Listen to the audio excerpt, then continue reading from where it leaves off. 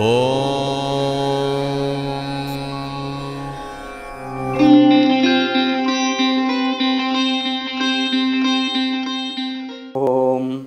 గురుర్బ్రహ్మా గురుర్విష్ణు గురుర్దేవో మహేశ్వర గురుసాక్షాత్ పరబ్రహ్మ తస్మై శ్రీ గురవే నమ. ఈరోజు భక్తి ఛానల్లో భక్తి గురించే చెప్పుకుందాం. భక్తి అంటే లోకులు ఏదో చాలా పూజలు చేయటం అది అనుకుంటారు. భక్తి నిజానికి హృదయపు భావననే. ఆసక్తి అనేది అందరికీ తెలుసు. ఆసక్తిని ప్రేమగా మలచటం శుద్ధం చేస్తే అది ప్రేమ అవుతుంది. ప్రేమను శుద్ధం చేస్తే అది భక్తి అవుతుంది. అంతే. కనుక ఆసక్తి ఉన్నవాళ్ళు ఆసక్తి వదలండి భక్తిగా ఉండండి ఆసక్తి వదలండి భక్తిగా ఉండండి అని ఇలా చెప్తే జరగదు. ఆసక్తి ప్రేమగా ప్రేమ ఆరాధన రూప ప్రేమను భక్తి అన్నారు. ఆరాధన తక్కువైతే అది ప్రేమ అన్నారు. అయితే ఆసక్తి అంటే ఏమిటి అంటే ఇంకొక వస్తువు ఇంకొక వ్యక్తి నా సుఖం కోసం ఉండాలి అంటే అది ఆసక్తి. ఇంకొక వస్తువు ఇంకొక వ్యక్తి నా సుఖం. ఒక వ్యక్తిని సేవకుడుగా పెట్టుకున్నాడు అనుకుందాం ఉదాహరణకి. ఆ సేవకుడు పని చేస్తాడు చాలా మె- చక్కగానే చేస్తాడు పని. అయితే అతనికి ఏదో ఇంట్లో ఏదో కార్యక్రమం ఉంది అని మూడు రోజులు సెలవులు తీసుకున్నాడు. సరే వెళ్ళు అన్నాడు యజమాని. అనుకుందాం ఒక ఉదాహరణ అంతే. మూడు రోజులు వెళ్ళాడు. ఆయన కోసం వీళ్ళు ఇక ఆయన చేసే పనులన్నీ ఇంట్లో ఉంటాయి. కొన్ని ముఖ్యమైన పనులు వీళ్ళు చేసుకున్నారు. కొన్ని పనులు మాత్రం ఆయన మూడు రోజుల తర్వాత వస్తాడుగా ఆయనే చేస్తాడని వదిలేశారు. ఆయన మూడు రోజులకు రాలేదు. మూడు రోజులను సెలవు తీసుకొని నాలుగు రోజు కూడా రాలేదు. ఐదవ రోజు కూడా రాలేదు. ఐదవ రోజు సాయంత్రము ఆరవ రోజు వచ్చాడు. ఇక వీళ్ళకి ఎట్లా కోపం వస్తుంది? మూడు రోజులని చెప్పి ఎక్కడ చచ్చాడు వాడు? ఇలా అంటాడు. చూడు ఈ పనులను ఎవరు చేయాలి అంటే తర్వాత ఏమైంది? ఎందుకు రాలేదు నువ్వు ఇట్లా? మూడు రోజులను తీసుకొని ఎందుకు ఇట్లా చేసావు నీకు ఇట్లా ఎక్కువైపోయింది వేతనం ఇది. నీకు ఇట్లా నేనంటే చులకనైపోయింది అని తిడతాడు. అప్పుడు అంటాడు మూడు రోజులకే వద్దాం అనుకున్నామండి. ఇగో నాకు ఇట్లా అనారోగ్యం ఉండే అంటాడు. "ఆ, నీకేదో సాకు దొరికిందిలే. చాడు అలా తగలాడు. ఇలా అనేస్తారు. అంటే ఇక్కడ ఒక ఉదాహరణలో అంటే ఆ వ్యక్తి నాకు చేసే సేవనే ముఖ్యం కానీ ఆ వ్యక్తిని నేను నా తరఫు నుంచి ఏమైనా చూస్తున్నానా? అంటే ఆ వ్యక్తి ఒక మనిషే. అతనికి హృదయం ఉంది అతనికి సుఖ దుఃఖాలు లాభ నష్టాలు ఉన్నాయి అనే భావన చూస్తే అది ప్రేమ అవుతుంది. అతని వల్ల నాకు జరిగే ఉపయోగమే కానీ అతనికి ఏమిటి అనేది చూడకపోతే అది కేవలం ఆసక్తి అవుతుంది అంటే తన అవసరం కోసమే. ఇట్లా. అయితే వస్తువులుగా మనం వాడుతూ ఉంటే ఇప్పుడు కారు చూడండి కారును చూస్తే నేను యజమాని కారు నాది అంటాడు. పూర్వకాలంలో ఎద్దులు కానీ లేకపోతే ఈ ఈ గుర్రాలు కానీ పెట్టుకుంటే అవి ప్రాణం ఉన్నవి వాటికి ఆకలేస్తుంది వాటికి దాహం వేస్తుంది. ఆకలేస్తే ఇట్లా ముఖం చూస్తుంది. దానికి ఏదో ఆహారం పెడితే తిన్న తర్వాత ముఖం చూస్తుంది. ఆ ముఖంలో ప్రసన్నత కనిపిస్తుంది. మీరు ఇస్తున్న వాటిని స్వీకరించి మీ భావానికి భావంగా ప్రతిస్పందిస్తున్నట్లుంటుంది.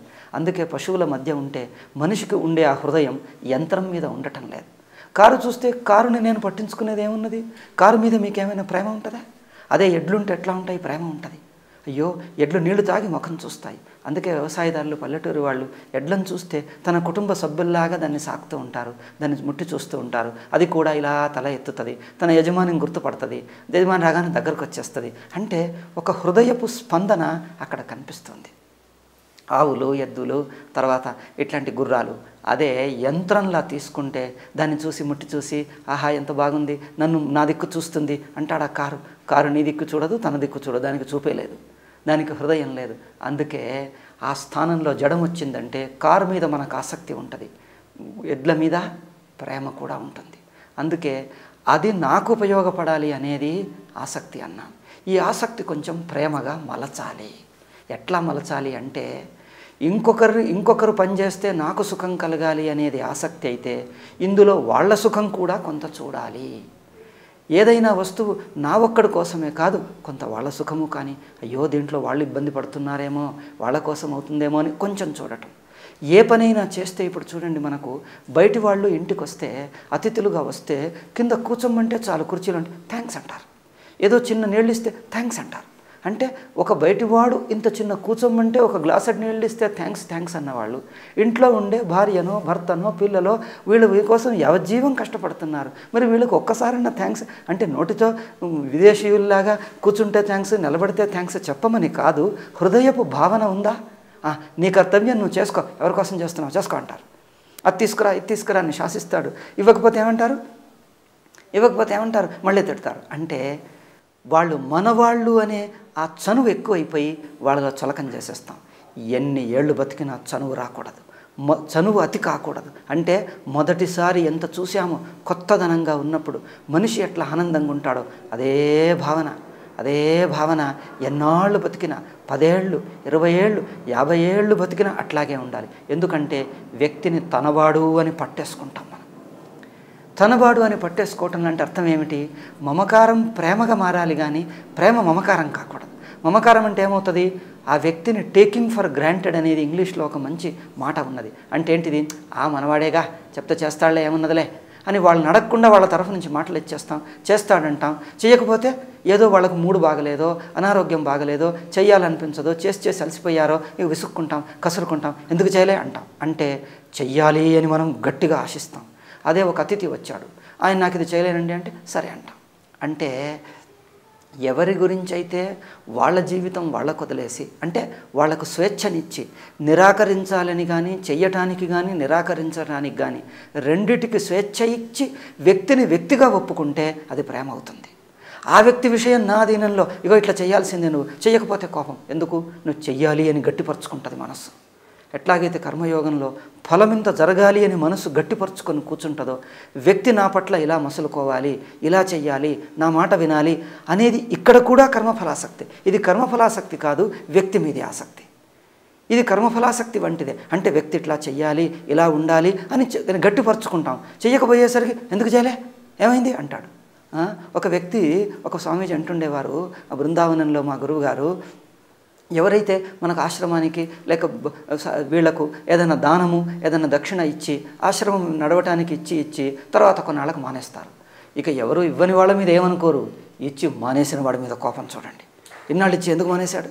అదేదో సామెత చెప్తారు చూడండి. ఒక భిక్షుగాడు ఇంటికి వెళ్ళి భిక్షం అడుక్కుంటూ ఉంటే కొందరు అమ్మగారులు ఇవ్వనే ఇవ్వలేదు. కొందరు మాత్రం అమ్మగారు ఇచ్చి ఇచ్చి ఒకరోజు ఈరోజు లేదు అన్నం అన్నాడట అయితే ఆ భిక్షుకుడు అంటాడట ఆ అమ్మగారు ఎలాగో ఇవ్వలేదు. ఈ ఇచ్చే అమ్మగారికి ఏమైంది? ఎందుకు ఇవ్వలే? చూడండి ఇస్తున్న అమ్మగారి మీదనే ఎంత? అంటే ఇది నీ భిక్ష వాళ్ళ ఇష్టంతో ఇచ్చేదే కానీ నీదేం రాసి పెట్టుకున్నావా? డిమాండా ఇది? అంటే అట్లా ఇది మనది అన్నట్టు ఇది మనవాళ్ళు నాకు ఇవ్వాల్సిందే నేను చెప్పింది చెయ్యాల్సిందే నేను అన్నట్లుగా ఉండాల్సిందే నాకు నచ్చినట్లుగా ఉండాల్సిందే నాకు ఇష్టం లేని రీతిగా ఉండకూడదు అనేది ఇది ఒక ఈ ఈ కంట్రోల్ చెయ్యాలన్న భావన ఉన్నదే ఇగో ఇది ఆసక్తి ఇది మమకారం ఇది అహంకారం. ఇది కాకుండా ఇది కాకుండా ఏం చేయాలి మరి? వ్యక్తిని వ్యక్తిగా గౌరవిస్తాం. వాళ్ళ బలహీనతలు వాళ్ళ మంచితనాలు వా ఆఫ్టర్ ఆల్ వాళ్ళు మనుష్యులే. వాళ్ళకు రాగద్వేషాలు ఉన్నాయి భార్య కానీ భర్త కానీ చుట్టాలు కానీ ఎవరన్నా కానీ. వాళ్ళకు రాగద్వేషాలు ఉన్నాయి వాళ్ళకు అహంకారాలు ఉన్నాయి వాళ్ళకు బలహీనతలు ఉన్నాయి వాటన్నిటితో పాటు ఒప్పుకుంటాం కదా? అంటే వాటిని కలుపుకొని సరేలే వాళ్ళకు బలహీనతలు ఉన్నాయి కదా ఏం చేస్తాం? అని కలిపి ఒప్పుకుంటే మనిషి మీద ఇంత డిమాండ్ ఇంత ఉండదు.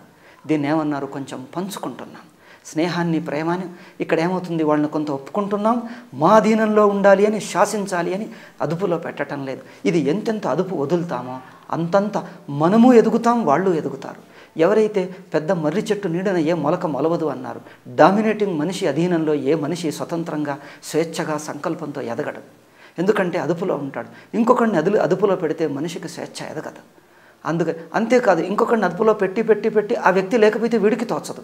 ఎందుకంటే ఎప్పుడు శాసిస్తూ కంట్రోల్ చేస్తూ శాసిస్తూ ఉన్నాను. వాళ్ళు లేకపోయేసరికి వీళ్ళకు తోచదు. అందుకోసం ఈ స్వేచ్ఛ ఉండాలి. అంటే ఆ వ్యక్తి ఏ చిన్న పని చేసినా హృదయంలో ఒక కృతజ్ఞతాభావం ఉండని శాసించాలి కంట్రోల్ అనేది ఎంతెంత తగ్గుతుందో అంతంత ఇది ఈశ్వరార్పణ భావన అవుతుంది. అయితే ఒక ఆ వ్యక్తిని ఉపే ఉపేక్షించి నేను మాత్రం సుఖం అనుభవిస్తే ఆసక్తి అవుతుంది. ఆ వ్యక్తితో కూడా కొంత పంచుకుంటే అదేమవుతుంది? ప్రేమ అవుతుంది.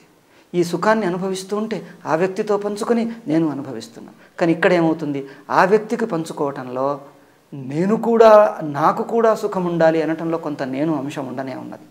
ఇక మరుసటి మెట్టు ప్రేమ తరువాత మెట్టు ఆరాధన.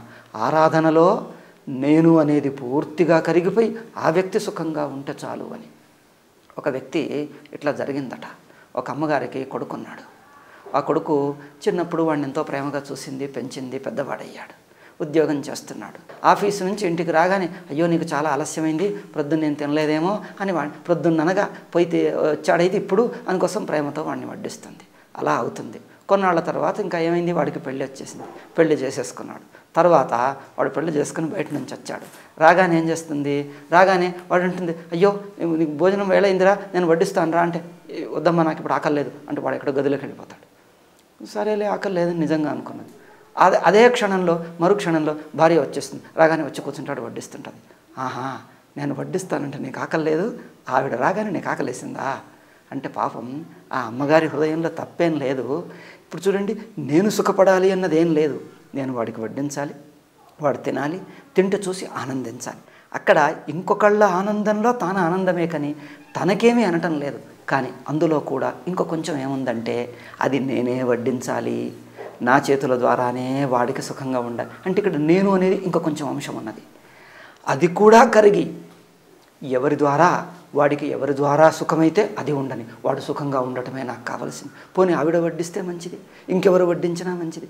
ఎట్లయినా ఎవరి ద్వారా వాడికి సుఖమో ఆ సుఖం చూసి నేను ఆనందిస్తాను నేను అనేది మధ్యలో ఈ ప్రేమ ఇంకొక మెట్టుకు ఆరాధన మెట్టుకు ఎదిగింది చూడు. ఒకసారి ఒక స్వామీజీ దగ్గరికి ఇద్దరు వచ్చారు. ఒక అమ్మగారు తన కూతుర్ని తీసుకుని వచ్చింది. ఆ కూతురు పెద్దదైంది పెళ్ళయింది. అయితే పెళ్ళైన తర్వాత ఏమిటి అంటే స్వామీజీ ఒక సమస్య ఉన్నది మీతో చెప్పాలి అన్నది చెప్పు అన్నది అన్నాడు. అంటే చూడు స్వామీజీ ఇది దీనికి పెళ్ళి చేశాం. దీనికి తీసుకుపోయి ఒక ఒక తన అత్తవారింటికి వెళ్ళింది. ఆ భర్త స్వామీజీ సకల దుర్గుణ సంపన్నుడు మహాదుష్టుడు. ఈ అమ్మాయిని ఏం చేస్తాడంటే చులకనగా చూస్తాడు. ఈ అమ్మాయిని పెళ్ళి చేసిన అమ్మాయిని పక్కన పెట్టి ఇంకో అమ్మాయిని తీసుకొచ్చి దాన్ని భార్యలా చూస్తాడు. ఇక దీన్ని మాత్రం భార్యలా చూడటం లేదు. అయితే అయితే ఇప్పుడు ఏంటంటే ఈ అమ్మాయిని నేను అది భరించలేక ఇక్కడికి తీసుకొచ్చాను. సరే ఇప్పుడు ఈ తర్వాత ఏమిటంటే ఇంతవరకు అయింది. ఇప్పుడు ఇక ఈ అమ్మాయిని నేను చెప్తున్నాను నువ్వు అక్కడికి పోకు. ఇదేమంటది? నేను అక్కడికే పోతానంటుంది. ఇది ఏమిటి అంటే నేను అక్కడికే పోతానంటది. ఇది ఏమిటి అంటే నేను అక్కడికి పోతాను. నేను ఆయన ముఖం చూస్తాను. నాకు అది చాలు. ఎందుకంటే నేను నన్ను పని మనిషిగా చూడని నేను ఆయన కోసం అక్కడ బట్టలు ఉతుకుతాను ఇంట్లో అంత శుభ్రం చేస్తాను నేను చూస్తాను ఇదే నేను చేస్తాను. నేను ఆయనకు సేవ చేసే అవకాశం దొరుకుతుంది. నేను ఆయన ముఖం చూస్తాను నాకంతే ఆనందం నేను అంటాను. ఇంతే అంటుంది. ఇక ఇప్పుడు అమ్మ అంటది చూడండి స్వామీజీ ఇది ఇది మూర్ఖురాలు కాకపోతే ఏమిటిది అర్థం? ఇట్లా పోయి తన స్థానంలో ఇంకొక అమ్మాయిని తీసుకొస్తే అది ఒప్పుకుంటుందట. తాను అక్కడ తన ఇంట్లో పని మనిషి అవుతుందట. ఇట్లానా? ఇది ఏమిటి స్వామీజీ? ఇది మూర్ఖురాలు. మీరన్నా చెప్పండి అంటాడు. అయితే స్వామీజీ అంటాడు ఆహా ఎంతటి ఆరాధన రూప ప్రేమ గోపికలకు కృష్ణుని మీద ఉన్నంత ప్రేమ. తాను తనను భార్య తన సుఖమనేది పక్కకు పెట్టి ఆయనకు సేవ చేస్తాను. ఆయన ఆనందంగా ఉంటే ఆయనకు ఆమె మీద ఇష్టం ఉన్నది సరే. అది చూసి నేను ఆనందిస్తాను. నేను అక్కడ సేవ చేయడానికి అవకాశం ఇచ్చినా నాకు చాలు. ఇదిగో ఇది ఆరాధన. నేను ముఖ్యం నేను కావాలి అనేది కాదు. మొదలు ఆసక్తి ప్రేమగా మారాలి ప్రేమ ఆరాధనగా మారాలి. ఆరాధనలో ఆయన ఆనందంలో నేను ఆనందించినట్లే. నేను అందులో కరిగిపోయాను. ఇంకా నాదా ఇంకొకటిదా లేదు. నేను అక్కడ ఇంకా నేను అనేదే లేకుండా పోయి ఇదిగో ఇట్లా ఉంటే అదిగో ఆరా ఆరాధన అన్నారు.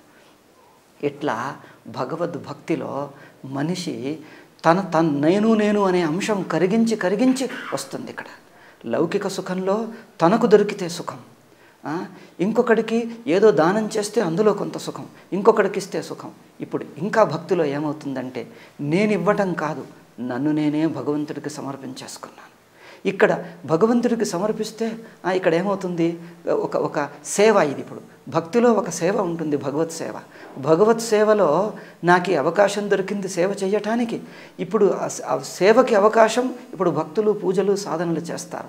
దీనిలో భగవంతుడి నుంచి నాకేదో ఫలం దొరకాలి అనుకుంటారు. ఇక్కడ ఫలము దొరకాలి అంటే ఆ, ఆ భగవంతుడిచ్చే ఫలం మీది ప్రీతి సకాములకు ఉంటుంది. నిష్కాములకు భగవంతుడిచ్చే ఫలం మీది ప్రీతి కాదు. నేనే భగవంతుడి వాణ్ణి అయిపోవాలి. నేనే నేను భగవంతుడిని వాణ్ణి అయిపోవటమే నాకు ప్రీతి. నేను ఈ చేస్తున్న సేవకు అవకాశం ఏమిటి? నేను ఆయన వాడిని అయిపోవాలి. ఆయన ఏమిస్తాడో అది ఆయన ఇష్టం. ఇవ్వని ఇవ్వకపోని. నన్ను ఆయన వాడిగా చేసుకున్నాడు. నాకు అది ఆనందం. ఆయన వాడిగా చేసుకున్నాడంటే నా చేతులు కాళ్ళు ఆయనవి. నా నా శరీరము నా ఇంద్రియాలు నా మనస్సు ఆయనది. నేను పొందే సుఖదుఖ అనుభవాలు ఆయనవి. చిన్న పాప చూడండి. పాప అన్నం తింటూ ఉంటే అమ్మ ఎంత సంతోషిస్తుందో అబ్బా దాని కడుపు నిండింది అని సంతోషిస్తుంది. అది మంచి బట్టలు కట్టుకొని ఆనంది ఆడుతూ ఉంటే అయ్యో అమ్మ తనకు ఆనందం అంటుంది. ఇట్లా అంటే పాపలోని చే పాప సుఖంగా ఉన్నదాన్ని చూసి ఇదిగో ఆనందిస్తుంది. అట్లా భగవంతుడు నేను కూర్చున్నా నడుస్తున్నా మాట్లాడుతున్నా నా అణువణువును చూసి ఒక తల్లిలాగా ఆనందిస్తుంటాడు. అందుకోసం ఆయన కోసం నేను కూర్చుంటాను ఆయన కోసం నిలబడతాను ఆయన కోసం మాట్లాడతాను. నా ముద్దు మాటలు ఆయనకు ఆనందం. అదే నా నోరు నా కోసం కాదు. నేను మాట్లాడేది నా కోసం కాదు. నేను మాట్లాడితే ఆయన ఆనందిస్తాడు ఆ ఆనందం నాది. నా ఇంద్రియాలు నా మనస్సు నా మీద కం నా మీద నాకంటే ఆయనకు ఎక్కువ హక్కు ఉన్నది. నా నన్ను ఇబ్బంది పెడతాడో అవమానాల పాలు చేస్తాడో ఆర్థికంగా బాగుంచుతాడో దరిద్రుని చేస్తాడో. చెయ్యని నేను ఆయన వాడిని అయ్యాను. అంతే. ఆయన ఏం చేసినా ఆయనది. ఆయన శరీరం ఆయనది ఆయన ఏం చేసుకుంటారు నేనెవరు మధ్యలో ఆక్షేపం చేయడానికి ఈ స్థానం ఆయనది కనుక ఈ పాత్ర ఆయనది. కనుక పూర్తిగా తనను ఆయనలో సమర్పిస్తే సర్వవ్యాపకుడైన ఈశ్వరుడు ఈ సకల బ్రహ్మాండాన్ని తనవాడిగా తెచ్చే తనదిగా పెట్టుకున్న ఈశ్వరుడు సర్వవ్యాపకుడు ఈ నన్ను కూడా తన అధీనంలో తీసుకున్నాడు. నా చెయ్యి రాస్తుందంటే నాది కాదు. అక్షరాభ్యాసం దే- ఆ పాప చెయ్యి బట్టి బాబు చెయ్యి బట్టి నాన్న ఎలా రాయిస్తాడో అట్లాగే నా చెయ్యి బట్టి ఆయన రాయిస్తున్నాడు. నా నోరు బట్టి మాట్లాడిస్తున్నాడు. నా కన్ను బట్టి చూస్తున్నాడు ఆయన. ఇట్లు నేను తింటే రుచి నేను ఆస్వాదిస్తే అది భోగబుద్ధి అవుతుంది. భోగబుద్ధి కరగాలి. ఇంద్రియ విషయేంద్రియ సంయోగం వల్ల సుఖానుభూతి కలిగితే సుఖానుభూతిని నేనే ఆస్వాదిస్తే అది అహంకారం ఆస్వాదిస్తుంది. భోక్త ఆస్వాదిస్తున్నాడు. భోక్త సుఖం జీవుడిదవుతుంది. భోగబుద్ధి కరిగినప్పుడు ఆ భోగబుద్ధి కరిగినప్పుడు ఆనందం కలుగుతుందే ఆ ఆనందం భక్తి ఆనందం. వస్తువులు నేను సంపాదిస్తే ఒక పని చేసి సంపాదిస్తే నేను సాధించాను అంటే అది నా ఆనందం అవుతుంది. నేను సాధించలే. సాధించటానికి కావలసిన అనుకూల పరిస్థితులు కల్పించి నన్ను వాడుకొని ఈ పని సాధించాడు. కనుక ఆ క్రెడిట్ ఘనత ఆయనది. అయితే ఆయన ఘనత వల్ల ఆ ఆయనకే ఆయన వాడినే నేను అయిపోయాను అని ఈ ఆనందంలో తనను కూడా ఆయనలో కలిపేసి చూస్తే ఇంకా తను వేరుగా ఏది లేడో ఈ కలిపేయటంలో